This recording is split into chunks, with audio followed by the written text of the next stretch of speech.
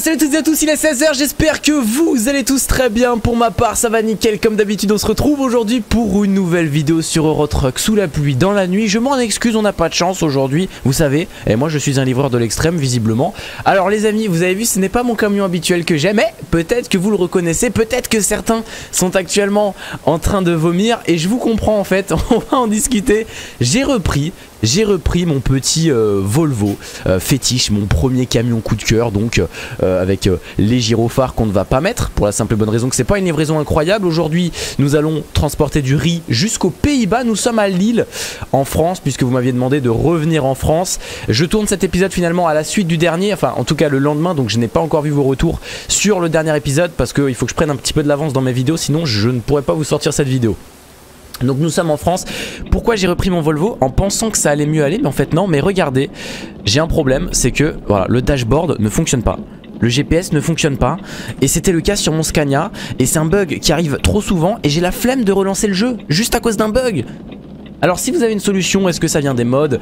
Eh ben n'hésitez pas euh, à me dire, en tout cas nous euh, on va commencer notre livraison. Alors sachez que du coup la bonne nouvelle dans l'histoire c'est que notre amie Stéphanie euh, à mon Volvo. Voilà, donc euh, je pense elle va essayer de le rentabiliser un maximum. Elle va faire pas mal de petites livraisons sympas. Donc je compte sur elle. En tout cas, euh, voilà, on va devoir faire avec les bugs et utiliser donc le GPS artificiel en bas à droite. C'est un petit peu dommage. Si vous avez une solution, vraiment les amis, je suis preneur. le Volvo, il est vrai, en fait, il est à vomir. Voilà. Alors, parce qu'il faut savoir un truc. Il faut savoir un truc. Donc je vous montre d'ailleurs. Donc la livraison, je vous ai dit, on va aux Pays-Bas euh, à Zvol et on transporte 22 tonnes de riz. Donc j'ai toujours pas trouvé comment faire des livraisons exceptionnelles d'ailleurs. Hein. Donc si jamais vous m'avez répondu dans la dernière euh, vidéo, ce que je ne doute pas, euh, je vous en remercie, je regarderai ça donc. Parce que j'ai pas trouvé de livraison exceptionnelle comment faire. Toujours pas donc voilà, je compte sur vos retours, je verrai bien ça. En tout cas, ouais, en fait, le Volvo, je l'ai kiffé, il est beau, je le kiffe et tout. J'aimais trop la maniabilité, euh, même en manuel, etc. Et euh, après on est passé sur un Scania qui est donc euh, un des meilleurs camions, hein, vous êtes nombreux à me le dire. Bon, et ben là, les gars, je suis repassé sur ce Volvo pour aller chercher cette livraison, parce que vous savez que je suis un petit peu efficace ces derniers temps. Hein, c'est vrai que je vous reprends tout de suite en vidéo dès que j'ai une livraison. Euh, bah alors bon, il pleut, hein, il pleut, mais la maniabilité du truc, c'est un bordel ça, c'est un bordel. Je glisse tout le temps. D'ailleurs j'ai enlevé le mode neige du coup hein. C'est pas pour rien Hop je ressens juste ma caméra C'est euh, un, délire donc faut que je fasse vraiment très gaffe C'est bien dommage mais euh, Ouais vraiment euh, c'est un bordel le truc. C'est un bordel donc on va faire gaffe. Et je comprends qu'il y en a qui n'aiment pas Notamment Feli le routier il aime pas les Volvo. En fait il est pas ouf. Voilà il est pas ouf ce camion. On va faire avec. En tout cas voilà direction donc les Pays-Bas. Normalement on n'est pas encore allé là où on va Si je dis pas de bêtises. Euh, Bon sinon c'est pas bien grave. Alors attends là on va y aller mollo hein va pas déconner non plus Voilà Vous voyez le virage je l'ai pris large euh, C'était pas spécialement fait exprès hein, euh, On a eu de la chance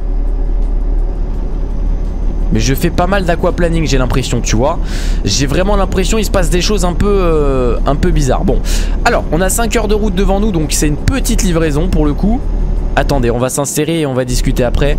Euh, les gars, je suis excité d'un truc, mais vraiment, hein. Je suis excité d'un truc. Voilà. Bienvenue en France, là où les gens ne te respectent pas. On a failli se prendre une voiture. Bon, euh, on a 5 heures de route. Ma prochaine coupure dans 10 heures. T'en restant 10 heures. Ah, dommage. En fait, j'aurais bien voulu dormir. J'aurais bien voulu dormir. Comme ça, on aurait eu le jour, mais on peut pas en fait. On peut pas, sinon euh, je serais en retard. Donc euh, non, c'est un peu tendu.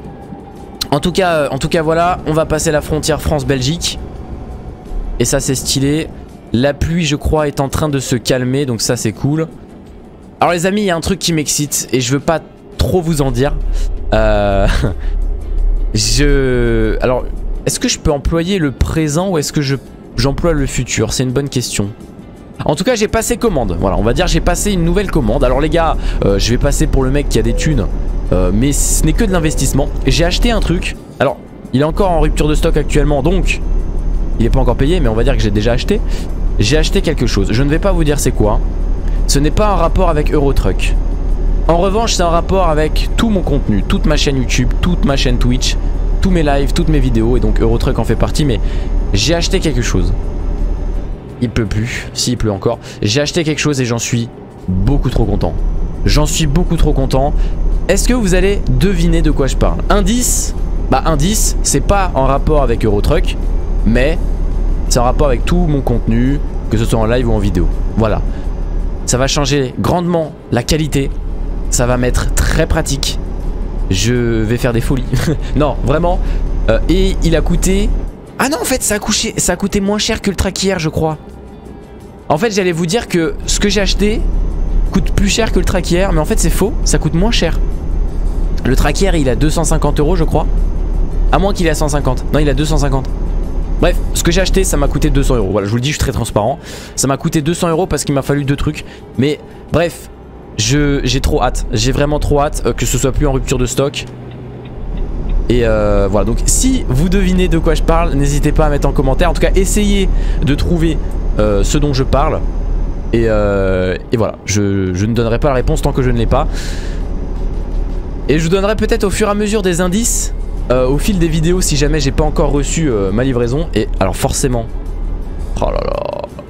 Ça casse les bonbons ça. Ah oui on est en Belgique maintenant. Avec les voies d'insertion trop stylées là. Bref, j'ai vraiment hâte que ça arrive. J'ai vraiment hâte que ça arrive. Euh, alors attendez les gars, bonjour, bonsoir, bon appétit. Merci à tous. J'ai hâte aussi franchement de faire des livraisons exceptionnelles. Franchement ça va être un truc trop stylé. On est d'accord qu'il y a un des DLC que j'ai acheté Oh pardon En fait c'est limité 70, j'avais pas vu. Je suis un tocard. Désolé de t'avoir collé au cul monsieur. Avec ta petite Peugeot 3008. J'imagine c'est une Peugeot 3008. Franchement, euh, ça ne peut que être ça. Ouais, euh... Oh le connaisseur, t'as vu Moi niveau Peugeot je suis calé. Hein. Renault, non Mais Peugeot, Peugeot c'est ma marque les gars. Peugeot c'est ma marque à moi. Pardon, on, on parlait pas de ça. euh, ouais, y a pas un des DLC du coup qui permet, euh, ce que vous m'aviez dit, hein, d'avoir des, voitures qui t'escortent, qui te bloquent les routes, etc. Voilà, c'est ça ce qui m'intéresse aussi. Et d'avoir euh, des livraisons normales comme, là, mais avec des grosses remorques euh, spéciales et tout. Je sais pas où, on trouve ça, j'en ai pas trouvé. J'ai un peu le, un peu le seum, je vais pas vous mentir. Bref. Donc voilà, j'ai hâte de voir vos retours. Je sais que vous m'avez déjà répondu dans la dernière épisode. J'en suis persuadé. Mais, mais du coup j'ai pas encore vu forcément. Euh, et, puis voilà c'est top c'est top c'est top. Euh, La vidéo setup les amis on est, on, est, on est quel jour? 13 janvier. La vidéo setup j'ai dit qu'elle sortirait au mois de janvier. En tout cas qu'on la ferait au mois de janvier. Et eh bah par rapport Par rapport à la commande que j'ai effectuée il y a pas longtemps hein, Je veux pas vous spoil. Et eh ben euh, je ne sais pas en fait si ce sera au mois de janvier la vidéo setup. Dans tous les cas Dans tous les cas Ce sera début de l'année. Janvier février hein. Pas de problème à ce niveau là mais, mais ouais du coup je suis impatient. je suis impatient, je tourne en rond, je pourrais en parler des heures. Et d'ailleurs, ce dont j'ai commandé, évidemment je vais la présenter dans la vidéo setup. Mais euh, j'ai un peu peur de m'étaler sur le sujet. Il y a tellement de choses à dire sur, sur ça, enfin bref. J'ai hâte, j'ai hâte de l'avoir entre les mains. Et euh, bref. J'essaye un petit peu de vous, vous avez vu, j'essaye un peu de vous attiser la curiosité un peu et tout. Sachant que vraiment ça n'a aucun rapport euh, avec Eurotruck. En tout cas ça ne va pas changer la qualité euh, du jeu Eurotruck. Par exemple le track hier il est totalement euh, en rapport avec Eurotruck. Là ce que j'ai commandé ça n'a rien à voir. En revanche ça va vraiment changer la qualité du contenu dans tous les cas. Bref ça fait le plaisir. Ça fait le plaisir. C'est chiant ça le GPS qui bug. J'ai hâte aussi que vous me dites hein, s'il y en a qui ont la solution j'ai cherché sur des forums j'ai rien trouvé à part de redémarrer le jeu mais très sincèrement eh j'ai tout mon setup qui est prêt je dois redémarrer le jeu juste parce que le GPS bug. Non mais à un moment donné faut pas non plus se foutre euh, trop longtemps de ma gueule.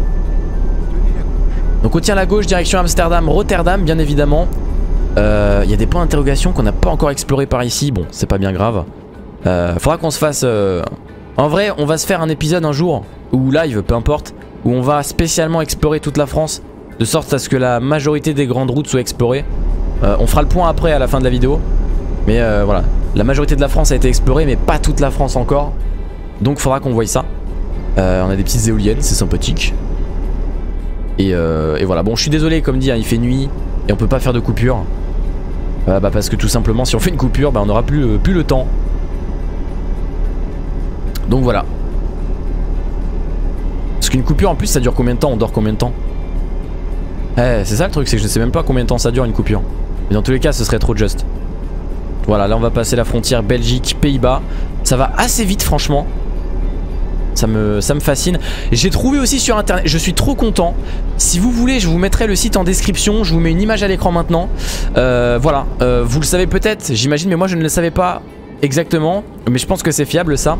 Le temps de jeu dans la vraie vie, enfin le combien de temps ça prend dans la vraie vie par rapport au nombre de kilomètres. Et ça c'est trop cool. Et c'est cohérent parce que en majorité, les épisodes durent environ une demi-heure. Et ouais, bande de cons, je suis en train de vous doubler par la droite, mais vous êtes débiles. Je sais que c'est limité 80 mais vous avez rien à faire sur la voie de gauche en fait. Ouais, euh... Oh fuck, oui voilà en général je fais une demi-heure de vidéo et euh... Euh, et, c'est pour 800 km en général ce qu'on fait tu vois. Et donc ça c'est stylé. Et je trouve ça très intéressant parce que ça me permet vraiment d'anticiper De savoir combien de temps va me prendre le tournage, la vidéo Combien de temps je vais devoir jouer Par rapport au nombre de kilomètres. Et ça c'est trop trop bien. Ça c'est trop trop bien Donc voilà, si jamais vous, ne connaissiez pas ça, mais je pense qu'en vrai, en majorité, vous connaissiez.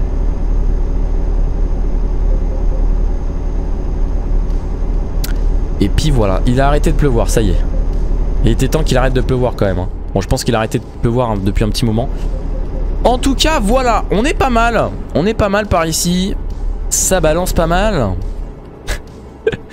C'est kiffant. Les amis, j'ai sorti aussi ma nouvelle collection euh, de vêtements. J'avais oublié de vous le dire en vidéo. Euh, je vous ai déjà voilà, fait euh, les annonces sur les réseaux sociaux. J'imagine que vous avez été nombreux à le voir. Donc ma collection routier, hashtag routier. Donc en gros, pour en parler, parce que je peux concevoir que ça ne puisse pas plaire à tout le monde. Mais ça c'est évident. Mais j'ai voilà, j'ai essayé, hein, euh, les gars. Je suis pas concepteur de, voilà, je, suis pas concepteur de t-shirts non plus. Donc c'est des t-shirts, des pulls, des tasses, des coques de téléphone, des masques euh, pour le Covid, enfin tout ce qui est virus, euh, tout ce genre de, de goodies, j'ai envie de vous dire. Et c'est écrit dessus Keep calm and play Euro Truck Simulator 2. Il y a des variantes aussi que j'ai fait pour rigoler à la con, si jamais ça peut vous intéresser. Je le dis, c'est des trucs à la con, par exemple Keep calm and chill dans la cabine. Je sais pas, j'ai essayé, mais en tout cas, l'idée de base que vous m'aviez proposé, c'était Keep Calm and Play Euro Truck Simulator 2. Donc j'ai fait ça. Euh, pour un prix, encore une fois, j'en ai déjà parlé dans ma première vidéo de l'année, hein, le 1er janvier. Pour vous souhaiter donc une bonne année, je vous ai déjà expliqué que les prix, on peut pas faire plus raisonnable que ça. Alors attends, parce que là tu me demandes beaucoup, monsieur. donc voilà. Euh, en tout cas, si vous avez d'autres idées pour la collection routier. Ah oui, et dans le dos, c'est écrit hashtag routier aussi. Petit détail. Si vous avez des idées, si vous voyez ça autrement, en tout cas si vous avez d'autres idées, d'accord, que vous voyez, euh, que vous imaginez bien porter un de mes t-shirts mais que le design soit différent, et eh ben n'hésitez pas à m'en faire part également en commentaire. Si vous avez euh, des suggestions, moi je prends et si ça me plaît, j'essaye de le faire. Tu vois, euh, ça ne mange pas de pain et si ça vous intéresse et que bah, vous êtes prêt à commander, bah, ça fait super plaisir. Moi ça me permet de gagner pas grand chose pour le coup. En vrai c'est plus, tu vois c'est ça la différence avec par exemple quand vous me faites des dons. Et c'est vrai en effet, alors ça me fait plaisir si vous raisonnez de la même façon, si vous préférez me faire des dons. Parce que finalement me faire des dons, c'est de l'argent qui me revient directement. Alors YouTube, connard, YouTube en prend une partie, une belle partie d'ailleurs disons-le. Mais moi j'en touche aussi quand même une petite partie, heureusement. Mais voilà, les dons c'est quand même plus direct. Alors que les vêtements, si vous commandez un vêtement, un t-shirt de moi, eh ben moi je vais vraiment presque rien toucher puisque comme je vous ai expliqué j'ai vraiment une petite part de sorte à ce que les t-shirts soient le moins cher possible. Donc sur 20 euros je prends peut-être 2 euros tu vois. Euh, c'est déjà ça on va pas se mentir. Sachant que moi je produis pas les t-shirts donc bah, faut pas non plus déconner. Euh, sinon il y a Yoko si vous voulez Yoko hein, voilà Yoko ils se prennent une belle part pour pas grand bref quoi Attends, j'ai, sais pas ce qui s'est passé. Bref, euh, oubliez ce que je viens de dire ou pas. Euh, bref, qu'est-ce que je voulais dire? Ouais, euh, mais donc les, le principe des, vêtements c'est que c'est une sorte de, soutien euh, pas financier mais du coup voilà vous portez les couleurs de la chaîne sur vous. Et ça c'est tout aussi sympa euh, parce que bon voilà vous savez que je ne suis pas en quête d'argent. Moi au contraire je veux justement qu'on agrandisse notre communauté. C'est pas l'argent que je recherche en priorité c'est justement avoir une grande communauté qu'on soit tous ensemble soudés donc, donc voilà, si vous commandez un t-shirt, c'est pas dans l'optique de m'aider financièrement. En tout cas, c'est dans l'optique de porter les couleurs de la chaîne et, représenter la team, euh, la team hashtag routier quoi j'ai envie de vous dire. Donc voilà, mais ça me fait plaisir, euh, même si c'est tout aussi gênant, il n'y a pas de voiture, c'est bon, c'est tout aussi gênant, ça me fait plaisir de voir euh, bah, que vous êtes plus motivé par exemple à me faire des dons directs pour me soutenir financièrement, plutôt que justement porter les couleurs de la chaîne euh, aux dépens de, me soutenir financièrement. Je ne sais pas si ça se dit. En tout cas, je l'ai dit. Euh, c'était pas très français. Alors, je suis en excès de vitesse, les amis. Vous savez que je suis un chauffeur routier professionnel dès maintenant, donc je me permets de rouler à 90 km/h. Il y a un radar. Donc, je ferme ma gueule. Merci, le radar détecteur, de m'avoir évité une contravention. Ça, ça fait plaisir. J'ai pas vu où il était, en tout cas, je l'ai évité. Maintenant, on peut appuyer sur le champignon parce que sinon, je vais jamais réussir à le doubler. Et là, je suis en panique. C'est bon. Voilà, j'ai eu un petit peu peur, j'ai eu un petit peu peur qu'on n'y arrive pas. Donc on arrive aux abords d'Amsterdam, on est déjà allé jusqu'ici bien évidemment. Mais je crois qu'on n'est pas allé plus loin. Euh, et d'ailleurs, bah, je crois bien, si on regarde le GPS en jaune, je crois bien qu'on a tourné. C'est bizarre que le GPS jaune soit, soit coupé. Bon, je sais pas, il faut, faut que je décale à gauche en tout cas. Hop. Attendez, le GPS jaune il est bizarre, j'avais fait un accident ou quoi Je ne sais pas. En tout cas, voilà. Vous avez vu, je suis en train de découvrir actuellement, donc voilà. Cette route, on l'a encore jamais prise. C'est beau. Faut décaler à droite maintenant Pourquoi le GPS il me le dit une heure après Donc voilà. On est pas mal, on est pas mal, on est pas mal. Bon ça me dérange à chaque fois en vrai. Euh, euh, c'est bien la nuit en vrai, moi j'aime bien la nuit. Mais c'est chiant parce qu'en plus à chaque fois toutes mes miniatures se ressemblent, c'est dans la nuit donc euh, c'est pas terrible. Voilà, moi je suis le pro des radars moi. Je suis devenu le pro des radars. C'est pour ça ce mode je ne peux pas l'enlever. Radar détecteur, j'ai déjà pensé à l'enlever et je me suis dit bah c'est à moi de faire plus attention mais au moins je vous casse pas les oreilles le soir en live. Bah ouais mais en fait tu vois, c'est trop pratique. En plus, j'ai l'habitude de rouler à 90. Euh, on est un peu des thugs, hein. Donc voilà, parfait. C'est bon, on peut rebombarder. J'ai l'impression qu'il y a des radars un peu partout par ici. L'État veut nous pomper du fric, dis donc, ou quoi, là? C'est pire qu'en France. ah là là. D'ailleurs, j'ai appris quelque chose il y a pas longtemps, mais je, crois que je vous l'ai déjà dit en vidéo. Vous savez ce genre d'encadrement là Justement qu'on vient de passer Des fois il y a des sortes de petites caméras, radars, je sais pas quoi. Alors je dis vous savez mais vous êtes en majorité routier donc vous vous le savez mais moi je ne savais pas et ceux qui ne le savent pas maintenant je vais vous le dire.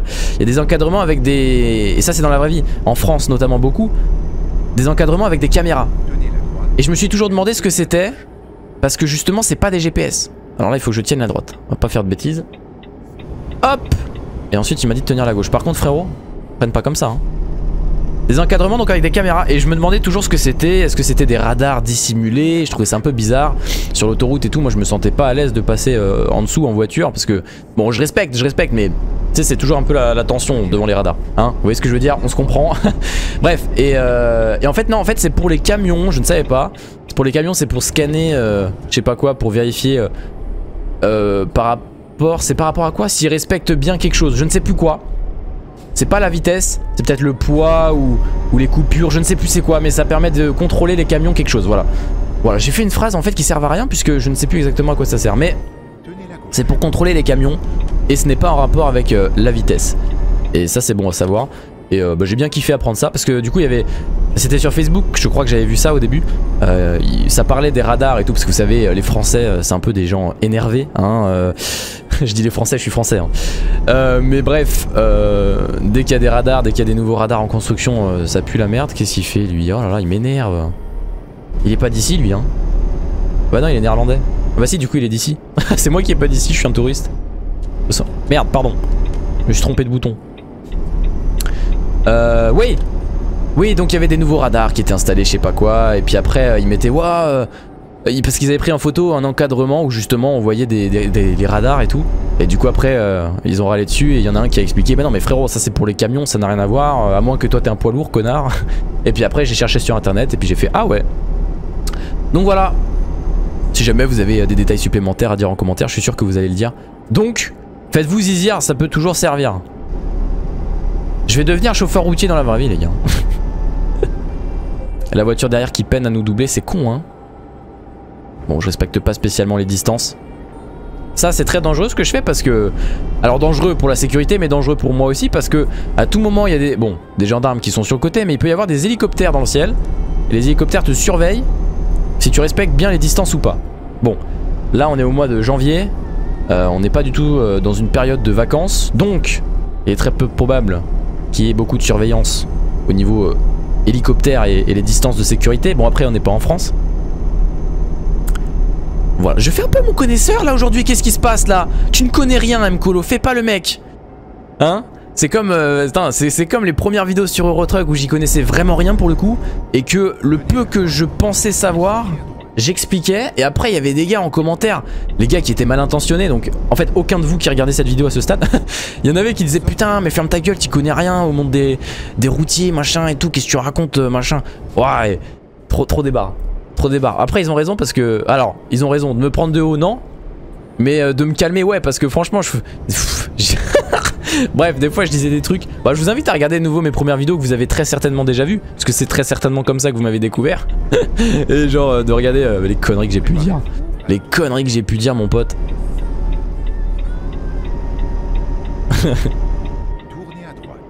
Hop. Ça fait le plaisir. Et eh ben on arrive. Eh ben on était déjà là visiblement j'ai rien dit. Ok bon c'est pas grave.